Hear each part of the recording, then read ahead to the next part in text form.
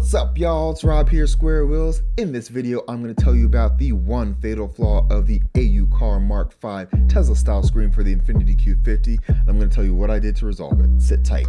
Never at ease, I don't know a limit. Chasing a dream, I don't know what sleepers. I got a queen, she lit me to eat it. She ripe like a peach and she snapped me to snippet. Sorry to leave you guys hanging. Uh, I've actually been doing a lot on my Q50. So uh, since the last video, which was the Q's Atlanta meet, uh, I ordered side skirts. I picked up a Krotov uh, tail that I'm going to DIY paint, um, so stand by for that. I installed bumper sequential turn signals and day running lights, as well as mirror sequential uh, day running lights. And I had my windshield tinted by Shaded Films ATL. Check out the link in the description. Jamar, he's doing awesome work in the Atlanta area. If you're looking for tint, hit my boy up. He is an artist. Up we go. We've got a visitor. Okay. We got tape on your chest, bud. Is he the police? Mommy. All right, get out of here, bud. So this video is specifically for those of us that already have a Tesla style screen, uh, either by AU Car or by Phoenix Automotive installed in their Q50, or I mean, this could even be applicable for any other car also. If you're still on the fence and thinking about getting one of these Tesla screens, check out a couple of my other videos. I'll link them in the description or on one of these cards here. But I go over the installation of the AU car uh, Tesla style screen for the Infiniti Q50, as well as give a product overview for that. Also, word on the street is that the manufacturer of these units is coming out with a new version that's going to have more processor, more memory, and it's going to support open Bluetooth. Now, I don't have all the details on it, but if it does live up to all I'm hearing about it, I will be first in line to grab it and review it for the channel. So sit tight for that. In a nutshell, I love the unit. From a features perspective, it has pretty much everything I want. It boots up quickly and is immediately usable when I first start the car. It supports wired and wireless CarPlay if you got iPhone, wired and wireless Android Auto if you got an Android device. It works with all the in-touch functions, all my buttons in the center console and the steering wheel work with it completely seamlessly. It's got amp pre-outs, it works great with my aftermarket subwoofer, backup cam, 360 cam, all work. Heated seats and steering wheels are all Gucci. One burning issue I had with this was the responsiveness of the screen. And I talked to many of you offline and in person. Uh, I don't know if you guys saw my Q's Atlanta meet. I was at the Q's Atlanta meet with uh, Boost in Motion. I demoed the screen for a, a handful of you.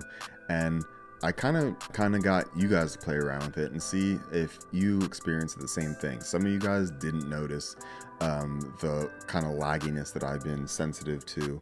Uh, some of you did, but I just find it a little sluggish in terms of response.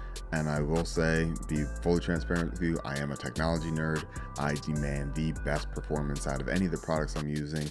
I love interacting with products that not only work, but are frictionless. And I will say Apple is really great at this. I'm not a fanboy, but they put the human at the center of all their products, and it really shows in their designs and their interfaces. When you when you're clicking around on the iPad, you're not really thinking about the delay, you're just thinking about what you want to get done and it's not distractingly slow to you. So while we're on the topic of Tesla screens, here's MKBHD's video and he's showcasing the screen on his brand new Tesla Model S Plaid. And you can see that this thing is lightning fast. It's super responsive. Um, you know, it's almost anticipating his touch and you know, it, it acts like an iPad. It, it's it's really smooth, really slick, and that's what I was missing from my AU car Tesla Mark V screen. So yeah, the one fatal flaw in this is the performance, especially when you're loading multiple apps onto the device and running them simultaneously. But as promised, I found a fix. So I asked around in uh, a lot of the forums that are dedicated to these kind of units, and a very common theme started popping up. Sergey firmware. So what is the Sergey firmware?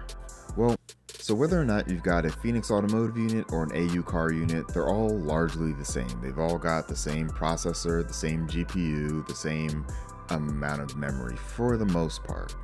The firmware is the software that makes the unit run, essentially. It's the all the background processes as well as the user interface that you see and interact with. Now, the firmware that comes on these devices, um, I'm not an expert on this at all, but I'm assuming that they come with a lot of bloatware, a lot of extra stuff, and they weren't written efficiently. So that really negatively impacts the performance and the responsiveness of the screen as you're interacting with it, especially when you start multitasking and running multiple heavier applications in parallel at the same time. So the Sergey firmware uh, seems to be written like hyper efficiently without any of the extra fat. Um, and when I'm interacting with it, it's really snappy. So um, that was the major benefit to me. So I, when I click around, when I'm trying to do anything, when I'm switching between apps, all that stuff is just kind of happening, you know, pretty quickly, especially in comparison to the firmware that came with the unit out of the box. Now, I'm not saying that this is like the actual Tesla screen. I'm not saying it's on par with my iPad because it's still a little laggy if I'm if I'm being honest. Uh, and again, this could be me being hyper hyper critical um, but I still sense a little bit of lag when I'm using it, but it's still worlds better, and I think it's a no-brainer, definitely worth the money to get it. So in addition to the performance boosts that you get out of this, there's also some cool features that uh, I'm going to show you just at a high level. First off is custom um, boot screen as well as custom boot animation. Really cool. I like this one because it kind of feels custom to my car. I do have custom headlights in, so I can change the color of them. I, I really think that that's a, a cool addition. But then check this out. So once your screen loads up, you have the ability to customize what car shows up there. So that's actually my car. I'm still working on the, the Photoshop here just to make sure that the edges look really good. But you can customize all the cars. So this tiny one at the bottom too for the HVAC uh, I'll be able to modify that one also to make it my car that shows up there. It's really easy to do. Uh, you just go into File Manager and then you drop the file and make sure that the file name is exactly the same. So see it here.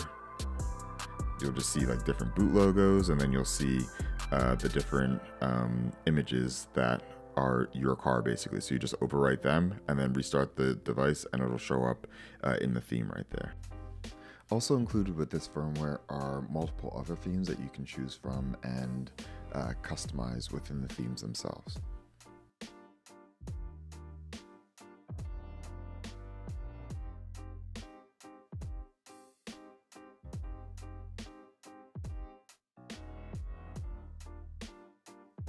So how do you get the Sergey firmware? Well, this one's a tricky one. So this guy's Sergey, I'm pretty sure he's just some guy in Russia that happened to write some awesome firmware for these devices. Now, to get a hold of the firmware, you need to find the forum that he's in on Facebook. Then you need to find his profile on Facebook. Then you need to send him a message and you know it's kind of like a weird disjointed experience um, but it's definitely legit software. He's definitely a legit guy and he's super helpful. He guided me through the entire process. It was it was awesome. But i do know that not everybody has facebook. Not everybody you know wants to go through that. So what i did was two things. One, I'm going to link you directly to his profile. So if you just want to send him a message directly and go through it that way, if you've got Facebook, then go through it that way. But I also created a link on my website that will send all of your details directly through to Sergey so you guys can work back and forth on email. One, to make it a lot easier for you as you're going through this process, because I just want you to get the firmware and be happy with your device. And then two, I'm an analytics guy, I'm a data nerd, so I like knowing how many people I kind of guided to Sergey, uh, how many people are watching my video, all that stuff. I, I just like knowing. So either way, I'm not getting paid. I don't care if you buy the Sergey firmware. I don't care if you are happy with your device as slow as it is. You know, that's on you.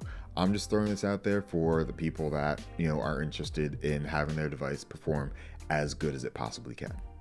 So regardless of how you reach out to Sergey. Once you actually complete the transaction and get a hold of the Sergey firmware, um, he's going to send you an email with all the information that you need to install it.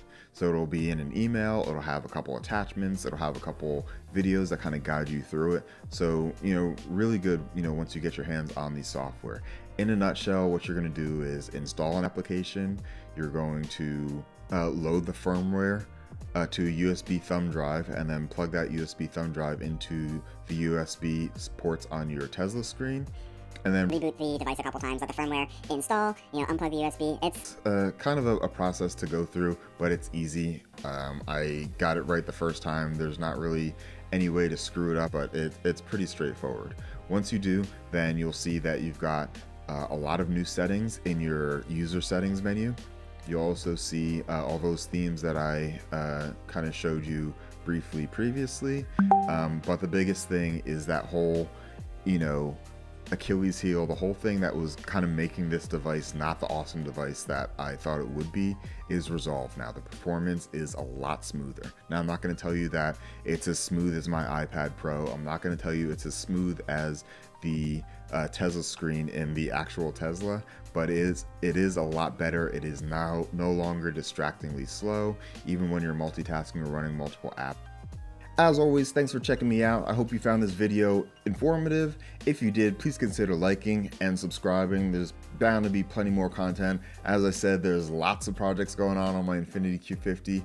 Anything you're interested in, anything I may have mentioned, anything that I didn't cover well, let me know down in the comments and I'll be glad to either address you in the comments or address you in a follow-up video. Sit tight, more to come. Thanks y'all.